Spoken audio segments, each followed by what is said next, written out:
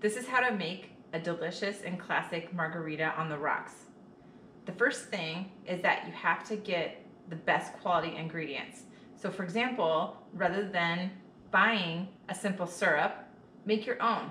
It's simple and I'll show you how. Also, make sure that you get high quality tequila, a high quality orange liqueur. So Grand Marnier is what I will be using. To make simple syrup, you just need to make sure you have enough lemons to make one cup of lemon juice and enough limes for half of a cup of lime juice. What you're going to do is you're going to take one cup of sugar and mix that into one cup of water and then boil them, stirring meanwhile. Once it boils, you're going to take it off the heat and set it aside.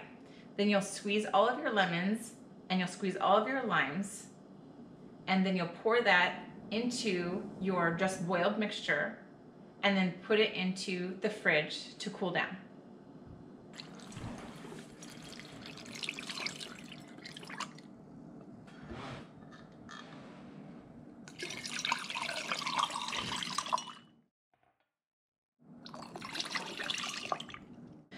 So I actually went to bartending school many years ago and I learned how to do a special bartending pour. It's a four count pour it takes some practice, but you learn how to pour exactly one ounce of liquor, and then you can pour, you know, obviously multiples of one ounce with that four count pour. So I'm going to demonstrate for you pouring one ounce of Grand Marnier and two ounces of tequila. Now, I normally you might add the simple syrup also to this mixing cup, um, but I didn't at the time because it's still cooling in the refrigerator. Now let's prep our glasses for the margaritas. You can buy specialty margarita salt and it's a good idea to get just regular margarita salt anyway. It has the right size of granules, perfect for the rim of your glass. And you'll also use the limes for garnish. When you're prepping your glasses, you want to cut your lime into wedges.